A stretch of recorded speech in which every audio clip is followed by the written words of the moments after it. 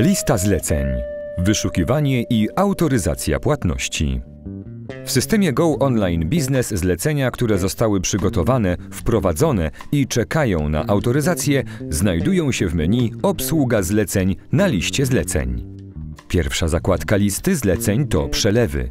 Kolejnych użytkownik, jeżeli ma odpowiednie uprawnienia, znajdzie zlecenia stałe, wnioski, umowy i kontrahentów, a także operacje Mass Payment czy Mass Direct Debit, jeśli użytkownik z nich korzysta. Nad zakładkami znajduje się nawigator umożliwiający przełączanie widoku listy zleceń według statusu transakcji. Liczby znajdujące się w nawiasach mówią, ile operacji wymaga obsługi przez aktualnie zalogowanego użytkownika. Obecnie widzimy, że na reakcję czeka 197 przelewów, 27 wniosków, 3 umowy, 116 kontrahentów i 3 transakcje mass payment. Operacje mogą wymagać np. autoryzacji, przejrzenia czy wysłania.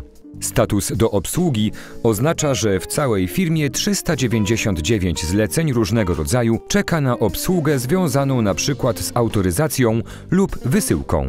Odrzuconych w tej chwili nie ma. W zakładce Wszystkie można odszukać statusy wszystkich operacji dotyczących płatności, zleceń, wniosków, umów, kontrahentów.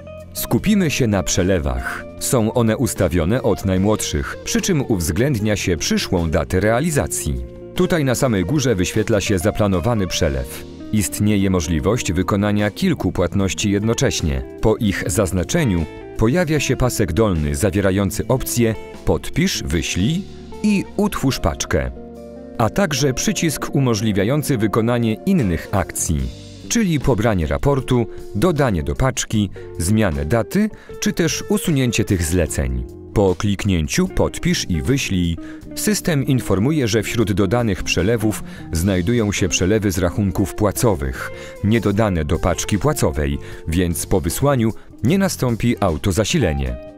Po wyrażeniu zgody system jeszcze raz o tym przypomina i prosi o autoryzację. Na niej kończy się zadanie użytkownika. Widzimy, że licznik się zmienił. W statusach Twoje do obsługi oraz do obsługi jest o te trzy płatności mniej, ponieważ właśnie zostały wysłane. Wykonane transakcje i ich statusy możemy sprawdzić w zakładce Wszystkie. Szczegóły płatności odsłonimy, rozsuwając jej pasek. Znajdziemy tam informacje o procesie przetwarzania tej płatności od momentu jej zdefiniowania. Możemy sprawdzić, który użytkownik ją podpisał i czy znajduje się ona w poczekalni, a także możemy utworzyć podobne zlecenie płatności do już zrealizowanej. Aby sprawnie odnaleźć daną pozycję, warto skorzystać z wyszukiwarki. Po rozszerzeniu filtrów możemy szukać według typu, trybu realizacji, daty wprowadzenia, konkretnego rachunku, który został obciążony, waluty, zakresu kwot, a także według użytkowników dokonujących akcji na poleceniach płatniczych, wprowadzania, modyfikowania, autoryzacji czy importu.